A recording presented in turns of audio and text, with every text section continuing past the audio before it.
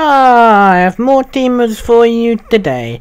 This time we have Antonio Jimenez41 and BD underscore Hulk underscore 14. Sorry if I pronounced those names wrong or anything like that. But I'll have them up on screen, don't worry. Now, this now here is very obvious that these two people are teaming. The car is waiting outside and Jason is not going after the car. The car did, as you see before, try to run me over, and Jason is completely ignoring it, properly going after me. Right there, I get grabbed.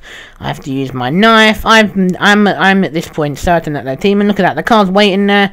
I managed to get away. But yeah, like that's obvious that they're teaming there, right there. And as you can see, Jason continues to ignore going after the car, but and instead chooses to focus on me. Why? Because before last match, I managed to juke Jason around for 10 minutes, or even more than that, and Jason got really pissed off because I went to the game chat because he has a mic, and yeah, he got very, very, very pissed off. He was like, oh, fucking jumping in and out of windows and whatnot. And as you can see right here, the car is waiting there for me. I know that Jason is coming. I have no choice but to go, and it runs me over. Bam. And then look at this.